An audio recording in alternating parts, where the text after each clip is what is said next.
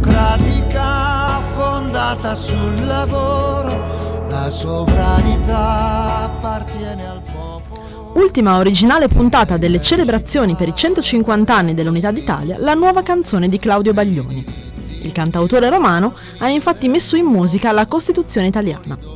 Il brano, che si intitola L'Italia è, è scaricabile gratuitamente dal sito personale di Baglioni e vuole essere un regalo alla patria e agli italiani nell'anniversario dei 150 anni dall'unità nazionale. senza distinzione della personalità, di sesso, razza, lingua, religione